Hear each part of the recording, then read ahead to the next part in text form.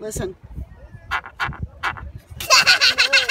sounds, sounds like someone stuck in a pacifier. Okay.